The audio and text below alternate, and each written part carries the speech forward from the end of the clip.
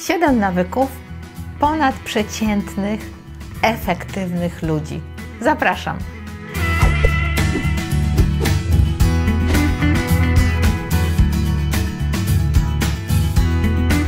Zanim przejdziemy do tematu, chcę Was oczywiście poprosić, żebyście zostawili łapkę w górę, subskrypcję, nacisnęli dzwoneczek, żeby wiedzieć, co się dzieje na moim kanale i dzielili się materiałami, które dla Was bardzo często publikuję z bardzo różnej tematyki. Bardzo dostaję dużo wiadomości na ten temat, jak bardzo one są pomocne. Może ktoś z Waszych znajomych tego potrzebuje, więc nie wahajcie się to czynić. A teraz do dzieła. Oczywiście można sobie zadać pytanie, jakie, co mają wspólnego ludzie sukcesu. E, dużo więcej niż się wydaje, i ponieważ wiecie, mamy dostępnych już dosyć dużo biografii ludzi sukcesu, e, robiono bardzo różne takie opracowania na ten temat, jakie e, nawyki, bo zazwyczaj są to pewne nawyki, czynią, uczyniły ich tak efektywnymi w ich życiu w różnych sferach. Oczywiście dodam, że są rzeczy mierzalne i niemierzalne, czyli najłatwiej jest policzyć pieniądze, najłatwiej jest policzyć jakieś, wiecie, rzeczy takie właśnie policzalne, bo nikt nie liczy, e, wiecie, miłości, relacji i takich rzeczy, tak? E, bo myślę, że tak naprawdę relacje też bardzo pokazują nasz sukces, nie? Bo sukces to nie są tylko pieniądze, e, bo jak to się mówi, że miłości do garnka nie włożysz, ale do pieniędzy się nie przytulisz, więc tak naprawdę sukces oznacza bardzo, bardzo dużo różnych rzeczy. Niemniej jednak na podstawie tych badań, które zrobiono, chciałam Wam dzisiaj powiedzieć właśnie o takich paru cechach, mm, takich nawykach, które wyodrębniono e, i które mają wysokie powinowactwo do sukcesu tych ludzi, tak?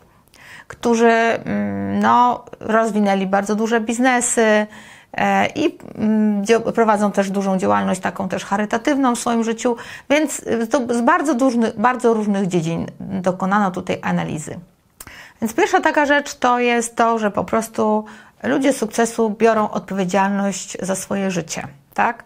Czyli nie mówią w ten sposób, że o, coś mi się tam wydarzyło, ja nie miałam szczęścia, ja, y, ja po prostu y, los mi nie sprzyja. Zazwyczaj bardzo są to ludzie, którzy bardzo mocno biorą odpowiedzialność za swoje porażki i za swoje sukcesy i bacznie je analizują.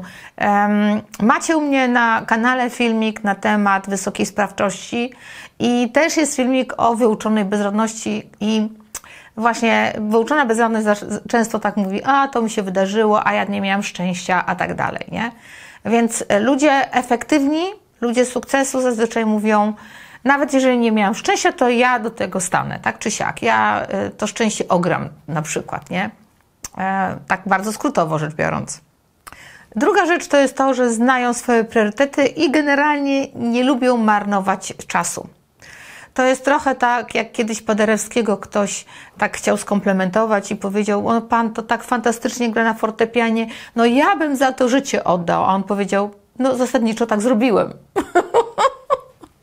No tak, bo on po prostu, każdy kto wie, ile czasu ja grałam na wiolonczeli w szkole muzycznej, to no po prostu godzinami, godzinami człowiek rzeźbił, rzeźbił i rzeźbił. I tak naprawdę wysokiej klasy artyści, instrumentaliści, to, to, to wszystko jest podporządkowane temu, co oni robią. W związku z tym e, też są takie sposoby, że wiecie, ludzie z sukcesu spisują sobie rzeczy, nie? które są najważniejsze i absolutnie koncentrują się na priorytetach. I to jest bardzo ważna rzecz. Bardzo istotną rzeczą jest czytanie i nieustanne uczenie się. E, czyli bardzo taka, e, bardzo taka, bardzo ważna rzecz, e, że rozwój, rozwój, rozwój. Troszeczkę to jest tak, jak dzisiaj na przykład w świecie mediów, w którym ja tutaj pracuję, no to jest tak, że te mm, rozwijają się kolejne media, YouTube, Instagram, teraz TikTok. De facto każdy z nich ma swoje jakieś tam prawidła, swój algorytm, jakiś swój sposób działania. Potem do tego na przykład dochodzi jeszcze znajomość marketingu, żeby na przykład pewne rzeczy posprzedawać. E, I masz takie wrażenie, że, że gonisz, gonisz nie możesz dogonić. Z jednej strony uczysz się rzeczy praktycznych, ale z drugiej strony wiem też, że ci ludzie tacy sukcesu bardzo często też czytali książki, które po prostu ich inspirowały. albo też, które stanowiły dla nich relaks. Ale czytanie, uczenie się jest taką stałą praktyką dla tych wszystkich ludzi. Kolejne to jest to. E, bardzo interesujący e, następny punkt jest taki, że zdrowie i sprawność fizyczna jest ich, jest ich priorytetem.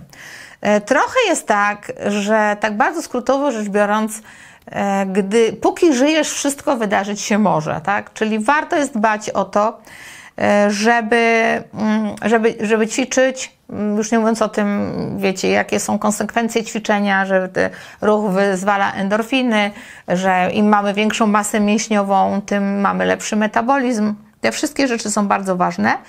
Dlatego też do tego dołącza się bardzo często też dieta, taka dbałość o dietę. Czyli widzicie, Trochę stoi to w sprzeczności z takim wyobrażeniem tego, że to są tacy ludzie, którzy, e, wiecie, w tym wyścigu szczurów po prostu tam biegną, biegną i nie mogą się zatrzymać. I w sumie zatrzymuje ich śmierć. Zazwyczaj są to nie sprinterzy, ale długodystansowcy, bardziej nawet bym powiedziała, że maratończycy, którzy mm, nawet jeżeli okresowo pewne rzeczy robią bardziej intensywnie, to mają świadomość tego, że gdy będą w dobrej kondycji, mogą osiągnąć znacznie więcej. Kolejna cecha jest taka, że e, bardzo często, e, gdy badano te biografie różnych ludzi, oni mieli takie bardzo elementarne, wpojone zazwyczaj im w dzieciństwie przekonanie, że trzeba dotrzymywać słowa. Czyli z jednej strony e, sami dotrzymują słowa i są ludźmi, którzy jeżeli coś, o coś się umówią, coś zrobią, no to de facto, wiecie, tak to się dzieje, ale też oczekują tego, że e, tacy będą wobec nich inni. I to jest, wiecie, taka sytuacja, że w momencie, kiedy ty rezonujesz pewną prawdą i pewnym przekonaniem, no to pewne rzeczy też wokół ciebie się układają, albo też odpychają ludzi, których nie chcesz, żeby byli w twoim życiu. Bo generalnie ludzie, którzy są słowni, e, i zwracają uwagę na tą cechę u innych ludzi, dużo szybciej dokonują doboru właściwych osób. I tu dochodzimy do następnego punktu, czyli mają solidny e, system wsparcia. E, o co chodzi? Trochę tak się mówi, że jesteś e, średnią pięciu osób, które Cię otaczają. Czyli znowu wracamy do tego, o czym ja Wam ciągle mówię na kanale, że relacje są jedną z najbardziej życiodajnych rzeczy w naszym życiu. I dlatego też ci ludzie nie boją się mieć na przykład mentora, czyli macie filmik o mentorze, który jest naszą drogą na skróty. E, mają zazwyczaj przyjaciół, którzy towarzyszą i w tej drodze. Mają rodzinę, która ich wspiera. Nie mówię tutaj oczywiście, wiecie, o tabunach ludzi, bo nie wyobrażajcie sobie, że tak jest, bo myślę, że rzadko kiedy ktoś ma takie tak naprawdę tabuny.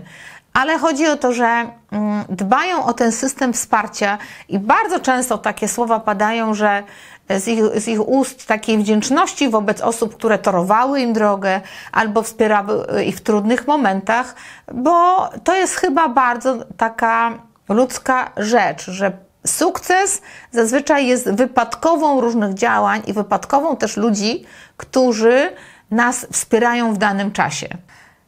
I taką ostatnią cechą, którą chciałabym Wam tutaj przytoczyć, to jest to, że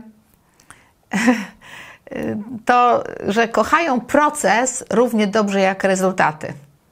Bo tutaj też jest taka trochę koncepcja tego, że wiecie, no nie spocznę dopóki czegoś nie osiągnę i do tego momentu będę sfrustrowany, niezadowolony i wściekły, czy też mam do wyboru to, że kocham to, że się uczę, że czasami trafiam, w, wiecie, w ślepe uliczki, czasami gdzieś zabłądzę. E, poniosę też porażkę, bo to też jest jedna z cech ludzi, którzy mm, odnoszą sukces, którzy są efektywni, że oni się właściwie nie boją porażki, nie? Więc e, to też jest bardzo istotna cecha, że kochają ten proces. Czyli zobaczcie, jak to się wszystko zbiega. E, lubią się uczyć, a to przecież też jest elementem procesu, nie? Lubią wysiłek fizyczny, regularny. To też jest element procesu. E, I dbają o swoją dietę, dbają o zdrowy, starają się dbać o zdrowy sen. To także jest element procesu. Oczywiście można byłoby się zagubić i polecieć bardzo daleko, ale to wszystko ma bardzo krótkie nogi. Więc widzicie, długofalowe strategie są tak naprawdę bardzo mocno osadzone w czymś, co ja bym nazwała takiej e, że w życiu nam potrzebna jest wiara i wytrwałość, jak to się mówi, nie? Czyli z jednej strony um, potrzebujemy takiej wiary w siebie, wiary w plan, bo wiadomo, że planują, wiadomo, że na przykład spędzają czas także w samotności, czyli nie boją się spędzać czasu ze sobą, nie boją się myśleć, nie boją się podważać swojego myślenia, prawda? E, więc z jednej strony potrzebujemy tej wiary, ale z drugiej strony potrzebujemy tej wytrwałości i tej powtarzalności, czyli też jedną z cech, którą tutaj wykryto, to było to, że mają na przykład stałą poranną rutynę.